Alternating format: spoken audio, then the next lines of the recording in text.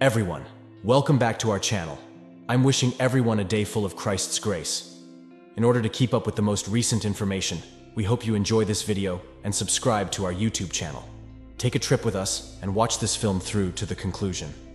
It's obvious that a significant era of change is coming as we negotiate these unsettling times. There is hope despite the fact that many of us may feel uneasy about the difficulties we face, both domestically and internationally. The message of the Virgin Mary, as told in the Medjugorje videos, is a potent reminder that spiritual rather than material preparedness is what is truly required for the times ahead. This message challenges every one of us to consider the more profound conflict raging inside our souls. It serves as a reminder that genuine change starts on the inside and that the moment has come to pursue spiritual rejuvenation via conversion, prayer, and faith. Mary's message is unmistakable, spiritual, not material. Preparation is necessary for the challenges we will encounter. The Virgin Mary exhorts us to understand that the real struggle is spiritual in nature, even if many of us are used to preparing for the future by acquiring worldly possessions or erecting physical barriers. The conflicts, crises, and natural disasters we witness taking place in the world are not only outside happenings, they are mirror images of humanity's more profound spiritual conflict. Strengthening our relationship with God and letting His grace change our hearts is the true way to prepare for these times. This metamorphosis cannot be accomplished solely by external acts or surface level modifications. Real inner conversion is necessary. It's time to go within, to examine our hearts and see where we've gone astray. We are called to conversion by the Virgin Mary, which is a shift in perspective that leads us back to God. This is an ongoing process of development, humility, and remorse rather than a one time occurrence. By living in accordance with God's plan, we equip our souls to meet any obstacles head on, strengthened by our faith. Prayer is our most effective tool when dealing with personal hardships and world unpredictability. And out of all the prayers, the Rosary is the one that the Virgin Mary has given us to fight the devil. Every Rosary prayer is like a ray of light penetrating the darkness and giving calm and clarity to the soul. Our hearts are open to God's grace, and we are led deeper into the divine design by the mysteries we ponder during the Rosary. Mary exhorts us to offer this prayer for the world, as well as for ourselves. We may invoke mercy and peace for all people by using the combined power of prayer. It's critical to keep in mind that the Rosary is more than merely a mindless ritual or routine. It is a potent, transforming activity that has the capacity to alter both our reality and our hearts. The Rosary is a ray of hope in times of perplexity, anxiety, or despair. Every Ave Maria prayer brings us nearer to God's light, which has the capacity to shine through the darkest moments. The core of the message of the Virgin Mary is the call to conversion. Going through the motions and making superficial improvements is insufficient.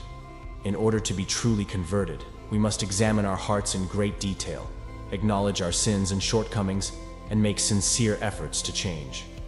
Mary reminds us that, although admirable, going to church on Sundays and occasionally doing nice deeds are insufficient. The radical change of the heart is the conversion to which we are called. This entails making the difficult decision to live a life of humility, tenacity, and faith. Conversion is a continuous process that calls for daily work. It entails letting God's grace soften our hearts and mold our lives in accordance with His will. Accepting this conversion process makes us more equipped to confront the difficulties that lie ahead with courage and faith. The Virgin Mary has warned of impending global dangers in her teachings. Among the difficulties we may encounter are natural catastrophes, spiritual crises, and dark times. These cautions are not intended to arouse dread, nevertheless. Instead, they serve as a wake up call, a reminder that we need to get spiritually ready for what is ahead. Mary's cautions are akin to those of a protective mother who wants to shield her kids from impending peril. She provides us with the means to overcome these obstacles faith, prayer, and conversion. There is more than just physical gloom ahead. It stands for the spiritual conflicts we shall encounter in the future. Conflicts that will try our faith, our determination, and our confidence in God. We can persevere through these difficulties by spiritually preparing ourselves and realizing that we are not alone. The knowledge that we are not alone in these struggles is among Mary's message's most consoling features.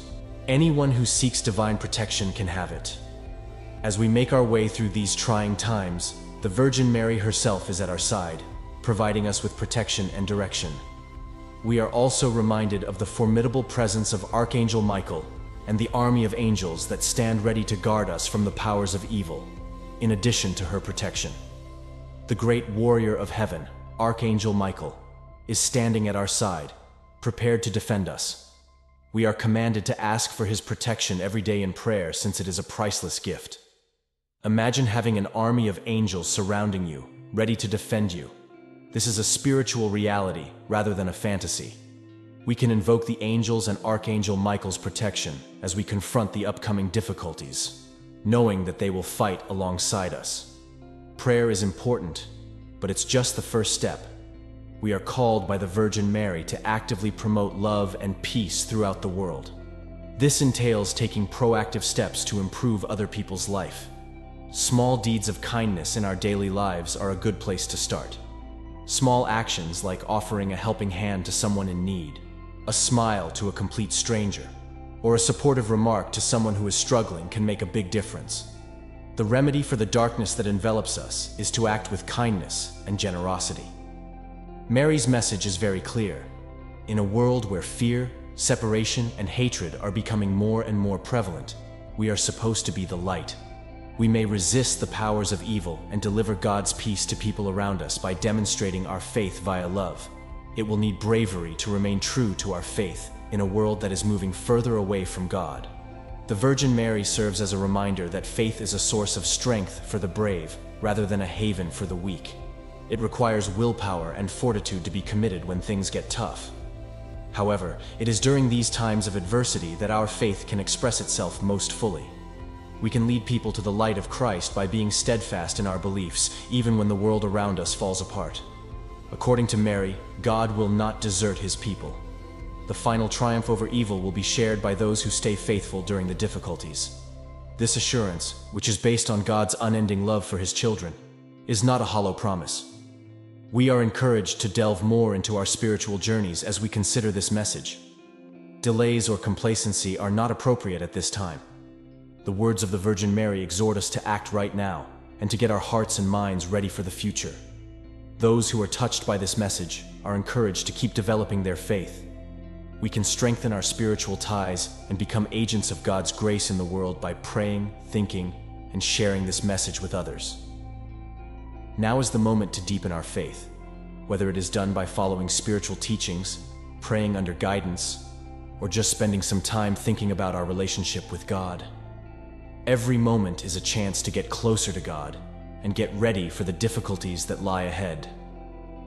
The Virgin Mary conveys a message of assurance and optimism. Yes, there will be challenging days ahead, but we have hope, protection, and guidance. We can face the future with assurance if we embrace prayer, conversion, and acts of compassion, knowing that God's love and protection are always there. The time to take action is now. Let's not wait for the problems to get worse. The road to transformation is open, and the chance for spiritual rejuvenation is now. The Virgin Mary reaches out to us, providing us with protection and direction while we navigate life's challenges. Let's grab her hand and move forth in faith, prepared to confront any challenge with a loving and God trusting heart.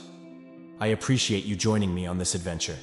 This investigation is significant and powerful because of your participation and presence. May the shared tales of our human experience inspire and uplift you until the next time.